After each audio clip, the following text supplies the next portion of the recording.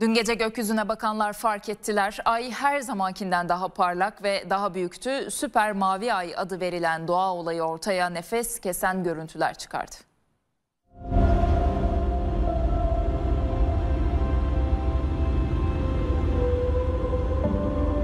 Adresler farklı, manzaraysa büyüleyiciydi. Telefonunu kapan o anları ölümsüzleştirmek için yarıştı.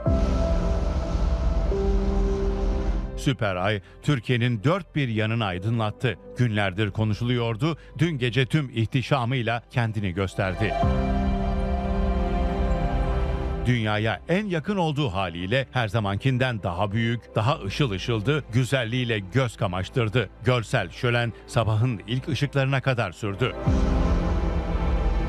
Görüntüler Üsküdar semalarından bir tarafta Sultanahmet, bir tarafta Ayasofya göründü. Süper Mavi Ay bu eşsiz manzaraya ortak oldu. Karpostallık manzaralar oluştu.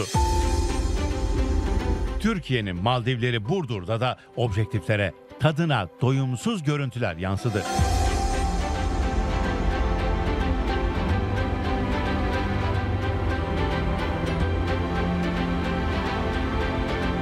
Fotoğraf sanatçıları Türkiye'nin dört bir yanında adeta yarışa girdi.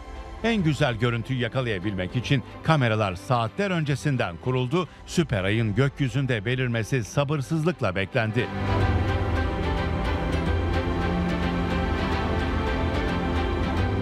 Kendisini en güzel haliyle gösteren ay Burdur semalarında böyle görüntülendi.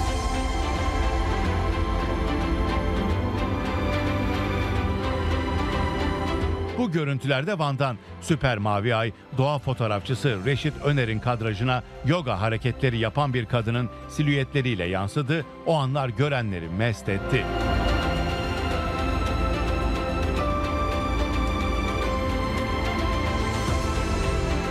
Konyaaltı sahilinde de göz kamaştıran ay yavaş yavaş belirdi, gökyüzünü böyle süsledi.